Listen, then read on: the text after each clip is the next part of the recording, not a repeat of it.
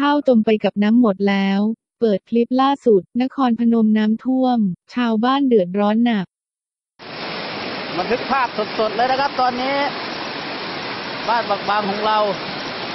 รถยนต์ผ่านไม่ได้แล้ว มอเตอร์ไซค์ก็ไปไม่ได้ มีแต่คนเดินได้อย่างเดียว กับเรือท้องแบกน้ำเยอะมาก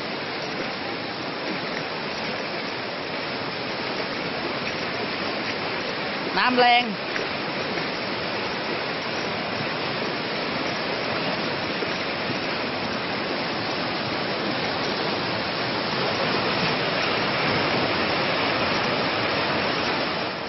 เมื่อวันที่ 30 กรกฎาคม 61 ที่ผ่านมา ที่บ้านปากบาง ตำบลพิมานอำเภอนาแก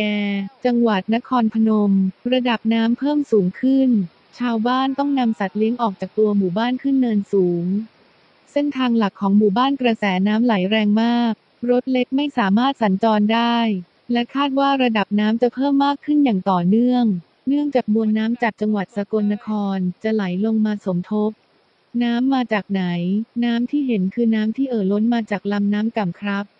ซึ่งลำน้ำก่ำต้นทางน้ำคือหนองหานจังหวัดสกลนคร และจะไหลลงสู่แม่น้ำโขงที่อำเภอธาตุพนม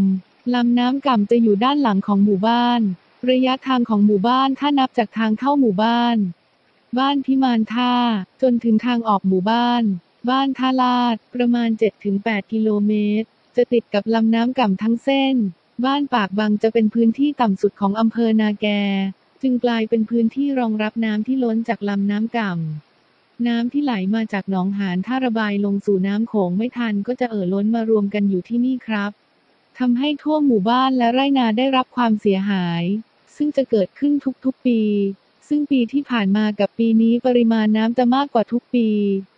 นี่ก็ 30 กว่าปีแล้วที่ต้องทนรับสภาพ ได้แต่รอให้ทางภาครัฐหาแนวทางแก้ไขอย่างจริงจังครับ